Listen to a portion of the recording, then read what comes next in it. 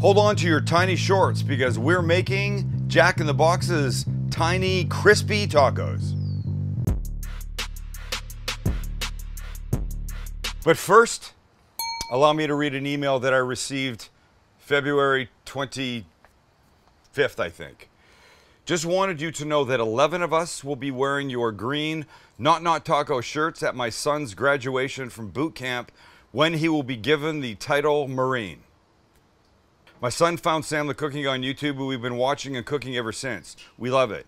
My son will be so surprised when he sees us for the first time in 13 weeks. He's been at boot camp uh, wearing the shirts. And then we are taking him to your restaurant. So excited. We're from Minnesota. Thank you. And then the world fell apart. And then the family, all 11 of them, could not come out here. And the crazy thing is, today, when you're watching this, it is April 24th. And this is the day of Thomas's graduation from boot camp when he becomes a Marine. Yeah. Hoorah! Hoorah! Is that it? Uh, that's it. That's it. I don't know if we're allowed to say it though. Well, creative license. Forgive us, Thomas. Anyway, uh, today's episode will be dedicated to uh, young Thomas, who today has become a Marine. More about that later. Now, on to the crispy, tiny tacos that I'm really concerned I'm going to eat about 6,000 of. You? Yeah. Max's brother, uh, Zach, said, What are you guys making? And I told him, and he went, Oh no. I think we all feel a little, oh no. In fact, I'm going to make two types. I'm going to make the type that I think they make, and then I'll make a slightly different version with chicken so that the slut bone can have them. Because she's not the ground beef thing. Woo! Don't show that.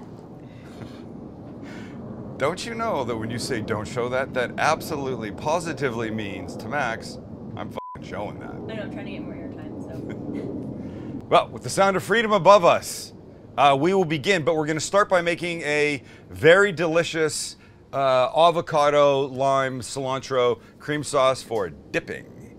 It goes like this. I'm going to use a bullet to make this. You could use a blender. If you didn't have a blender or a bullet or a processor would work, just do it all by hand. And we begin with one whole avocado that I've cut into a few pieces. We'll just drop this in. Uh, cilantro. And if you don't like cilantro, tough titties start to like it because it's delicious. Uh oh. Yes. Can we maybe Somebody's got to turn their phone off. Somebody's a very bad boy. Uh, three cloves of garlic. Got a jalapeno here that I've taken the seeds out of and cut up. And I haven't used this bullet for a long time, so we're gonna find out how it works. Good pinch of kosher salt and pepper. Juice of, I'd say uh, half of a lime if it was a good lime, and this lime sucks. It's basically a juice less lime. I want a couple tablespoons, so good lime, you get that out of half, but not these guys. Two more liquid things. A little squeeze of avocado oil for richness. And a little agua to help this whole thing come together. And then we put the base on that helps chop. We put it on the uh, bottom of the machine. Then we take this, we put it on the base or whatever it's called. We push down and we. Sorry.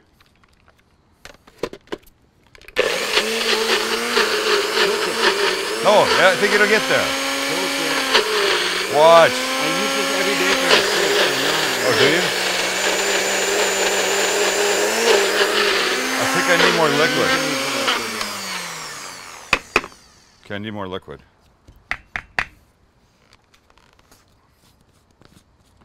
Oh yeah, it's like guacamole at this point. Oh my gosh, really delicious, but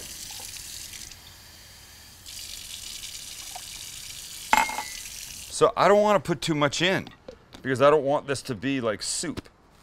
I want it to be creamy. And again. There we go. Let's check it. Nope, a little bit more. We're getting there though.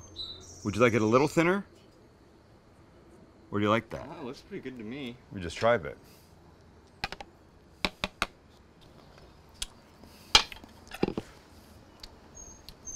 It's pretty good. A little more salt. Tiny splash of water. One more piece of garlic. And this goes, lid goes on. We're 20 seconds away from perfection, Max. And here's what we've got.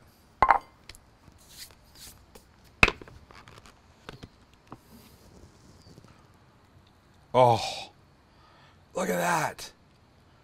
Mother may I. That's going to be perfect with our little crispy tiny tacos. You know what it does need? I'll show you what it needs. I think you know. It needs just a little bit of green, Max. There's a couple leaves. There you go. All right, this I'm to put in the fridge. Now, onions. Here's how we start avocado oil, always. Some finely diced yellow onion. And I say finely because these are going to be little tiny tacos.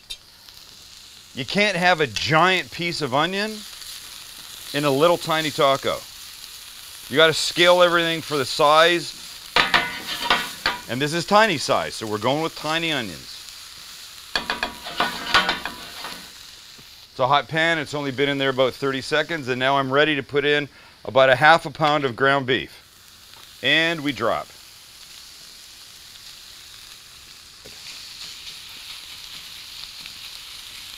It's pretty simple. We're cooking. We're ground beefing. The end result, I do not want to be, um, sorry for saying this, moist, really, or wet. Because yep make all the jokes you want. Because if they're soaking when we put them into the oil it's not going to be a good thing. Okay at this point i'm going to add the stuff that's going to give it some really good flavor. Some cumin love it some paprika some garlic powder oregano.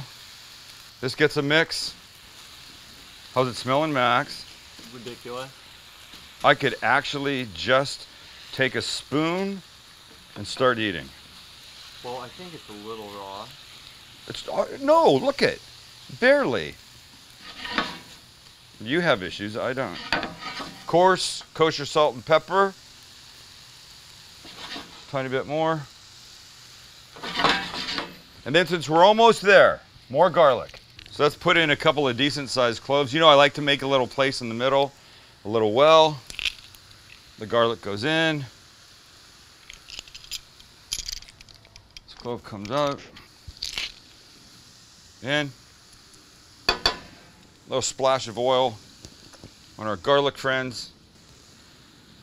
And what do I say at this point? When it starts to get super fragrant, then we can mix it in. Perfect. Just break up the pieces. You want everything, again, the format's tiny, make it tiny. One more thing to add refried beans. For the win, ladies and gentlemen. Oh my God. This is going to take this from, from oh good to crazy good. From amazing to double amazing. From holy shit to holy f- Come on. Let's put some in. Not all of it. Half the can. Let's go. To our half a pound of ground beef and the onion and the garlic, we're going to add a half a 15 ounce can, whatever it is, of refried beans. And just mix these around. There's no way to make these tacos in a simple format when you're putting in ground beef and then some of the refrieds on a tortilla. So we'll mix the two together. Oh God.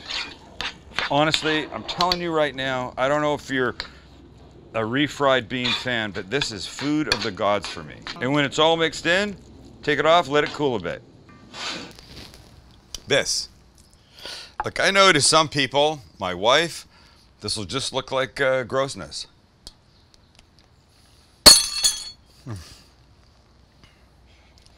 But to me, this intensely rich beef with the ah, the whole thing. We let this cool. Remember, I mentioned something for the slut bong, and here's what it is. I had some chicken that I made the other day, chicken, but because it's in these pieces that I just pulled it off the the the, the bird when it was done, we need to cut it up. Remember, it's the small format. Tiny tacos need tiny chicken. So we'll make this tiny. Back in the bowl. A quick wipe because I'm super freaking anal. One is a little green salsa. And I say little because remember, I don't want these things to be wet. Sorry for the word. And then we'll add a little of the um, Monterey Jack and uh, cheddar cheese mix. And we mix. Perfect. You know what it is now, Max? It's taco time. Here's how we start. We're using the classic corn tortilla. But remember, what size are these, Max? Six inch? Tiny. Small? Tiny? Tiny. Oh, the tiny. tiny. Sorry. I thought you were asking about the tortillas. No. Tiny tacos. This is not a tiny tortilla. We have to make a tiny tortilla. And uh, we're going to do that by cutting them down by using this uh, this solid gold mug that I. It's not solid gold. Wa- watch how this works. I don't, I don't know what this is. That's, uh, well, if Kelly was here, I would tell her that that's seven inches. Okay, that's just, forget that stupid joke. Sorry, it's a very dumb old joke. Very dumb. Sorry. Uh, I don't know how big this is. I think it's uh, four inches. Something like that. Is twice this be a bottom? No, maybe three and a half. So I'm going to put it here, and then I'm just going to cut around the outside. Like this. And here's what I have. I have a tiny taco. No, I don't. I have a tiny tortilla max. Let's just do it with the rest of them. And then save this part for making tortilla chips.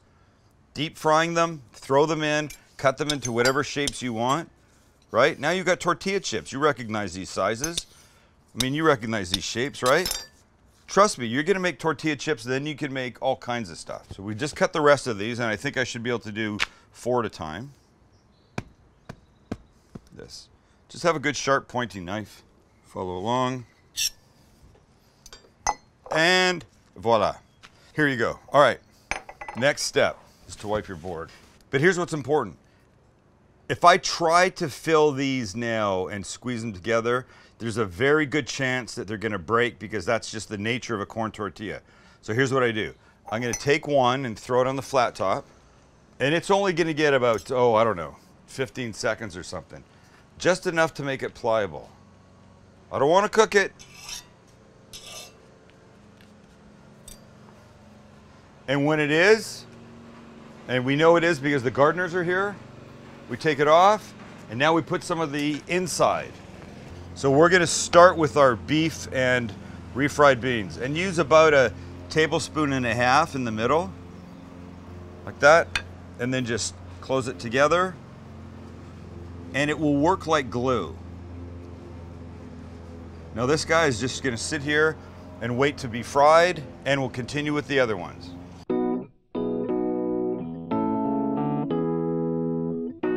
Last one. All right, let's make a couple chicken ones, okay?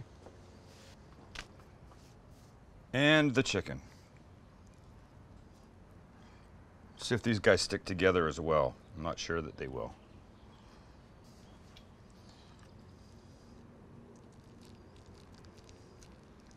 I think we'll be okay here. I might have to hold these guys together a little bit when we put them in, but I think we're going to be all right. Maxie, now it's time to fry. Yeah. Go to the fryer. And in we go. One at a time, carefully. And when you put them in, put them in and drop away from you in case they splatter. My oil's at 350.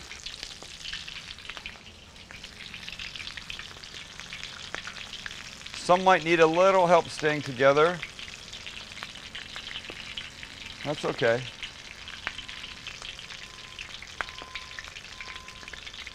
And we're probably looking at about two and a half minutes total for these.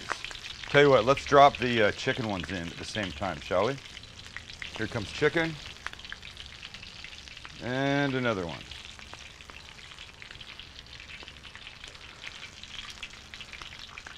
Not there yet.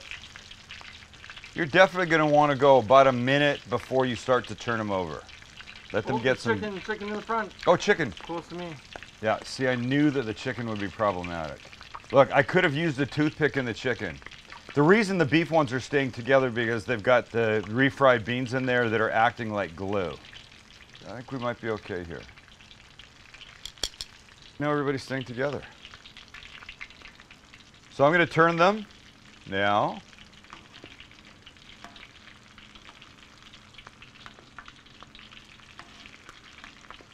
You can see the color changing. Oh my goodness. Oh my goodness. It's hot as fuck. San Diego's 85 degrees right now, and Max and I are freaking miserable. And when they're lovely and gorgeous and brown on both sides, two and a half, three minutes, we bring them out. And if you want, you can even tip them, let the oil run out, put them on paper towels, and we're there. And when they've cooled down a little bit, we can take them off. How do we do this? Like this.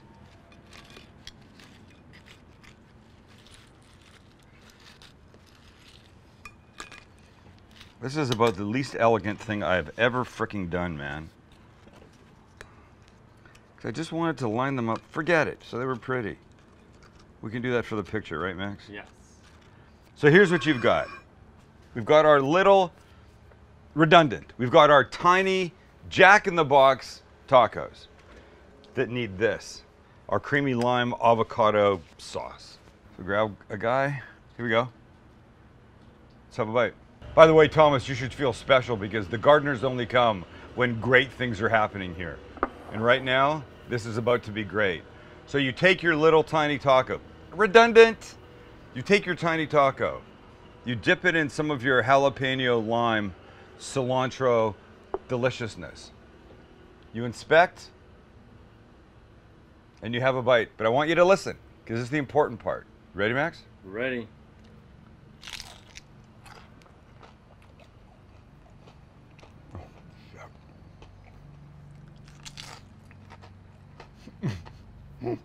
Oh my god. Oh my god.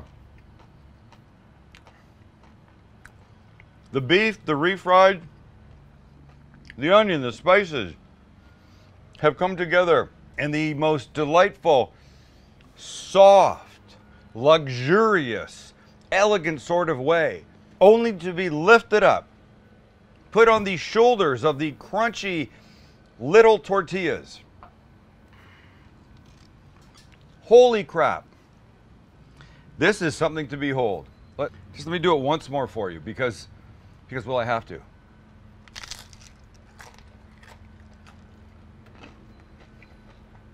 That's what all this is about. That is the sound you hear when you eat a Jack in the Box taco. And then about five pounds of grease drips out of the bottom. Not greasy. Remember, here's the thing. People freak out about deep frying. Excuse me, I'm eating. People freak out about deep frying. But if it's at the right temperature, the oil doesn't soak in. If it's at the wrong temperature, meaning too low, the oil soaks in. Wow, we've done some good work here today. I'll let uh, the Slutbong have the chicken ones.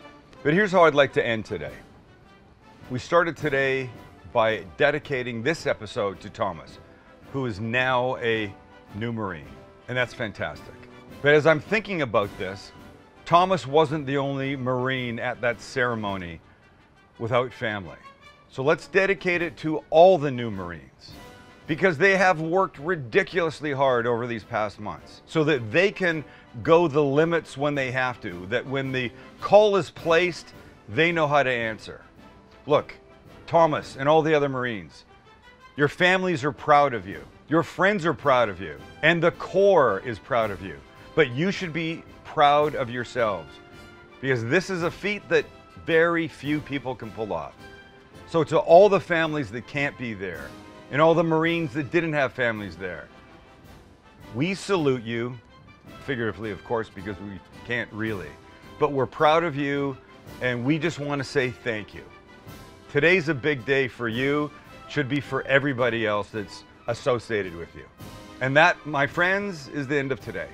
Make the tacos, but more importantly, when you see a Marine, when you see someone in the Navy, the Coast Guard, anybody in uniform, you should go say thank you because they're there for us, for the stuff that we can't do or don't want to do or don't know how to do. and by the way, I'm Canadian, so we do have a military up there. There's 38 guys, and they're all named Pierre, but they're lovely and they eat poutine and then they fight. So, all right. Thanks, everyone.